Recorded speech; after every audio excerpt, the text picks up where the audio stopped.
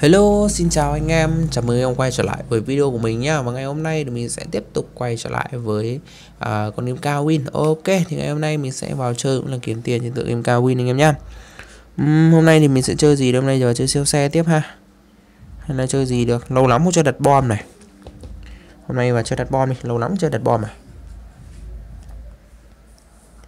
à, Chơi đặt bom thì mình cũng cần phải có cái mẹo nha anh em nhé Chứ không chơi bừa được đâu.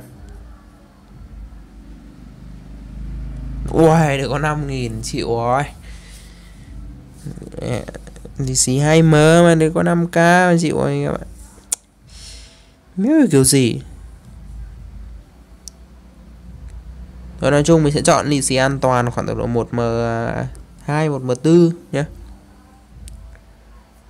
Đấy, tầm khoảng độ lì xì từ 1M2, 1M4 đổ xuống khả năng cao bốc được. Nói chung là bốc lì xì thì mình sẽ không lãi được nhiều đâu mỗi ngày lãi một chút ngày lãi một chút. Tích tiểu thành đại được.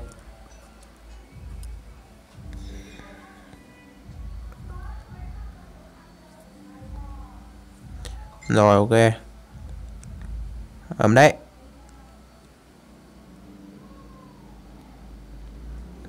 Ngày kiếm vài trăm như là ấm đấy anh em ạ. À, cái trò đặt bom này thì mình có chia sẻ cho anh em lâu rồi nhưng mà chắc là một phần này anh em cũng ít xem đến những cái video đấy. Thì ok hôm nay mình sẽ làm lại với trò xích bo này. À xin lỗi trò đặt bom này. Thì à, mỗi người thì chúng ta sẽ đều có những cái vốn khác nhau đúng không ạ?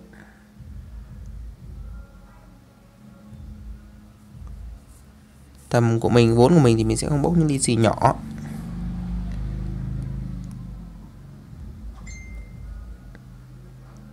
Rồi ok 282k nữa. Những lì xì to thì ở đây sẽ ít người bốc. Mình thấy là thời điểm này ít người bốc nên là xác suất lãi có thể nó cũng sẽ cao hơn.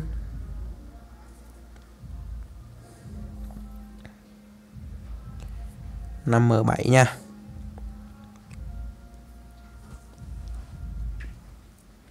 Một m 6 này. Ô, sao lì xì bị lấy hết? Lag à? Của iBox bốc đâu mà lấy hết. Như kiểu lát lát kiểu gì em ạ rồi, thêm 200k nữa. Có sao lì xì to mà nó lại báo đã lấy hết nhỉ hay là còn mỗi mình ta? Ảo thật đấy. Rồi, cứ bình tĩnh đã. Cái này thì không bốc đâu. Sợ dính bom 198k cả lại một M6 tiếp à một M6 đi bốc thôi. Ui, được có 34k Nói chung không phải là lớn lắm. Gọi là vừa tầm thôi. 400k thì tầm này mình bốc thì nó sẽ an toàn nhất. Những bốc những lì xì nhỏ lúc này sẽ an toàn cực luôn. Bốc nha. Ở mạng lag kìa. À hóa ra là mạng lag anh em ạ. Hóa ra là mạng lag này. Đấy được 140k đấy nhưng mà mạng lag thôi nó không hiện ngay rồi, lại nhiều phết ở đây anh em ạ. Lại nhiều phết ở đây. Đánh đơn giản nhưng mà nó lại hiệu quả đúng không anh em? Đấy, cho nên cách chơi đơn giản là được miễn sao anh khi mà anh em chơi nó hiệu quả là được nha. 200 lại bốc thêm cái lì xì 200 này nữa có vẻ ấm rồi đấy. Không kịp luôn. Không kịp luôn này các bạn thôi được rồi 2M thì không bốc nữa. Tránh trường hợp là dính bom thì mình sẽ mất hết đấy.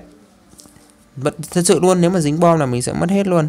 Không phải đơn giản đâu nên là à, đối với trò cái trò đặt bom ấy thì à, lãi nó không phải quá nhiều nhưng chúng ta sẽ chọn ở một cái mức lãi phù hợp ổn định. Tại vì cái trò đấy ấy, thì sẽ phù hợp với những anh em nào mà vốn nhỏ mà chúng ta muốn chốt lãi nhỏ ấy.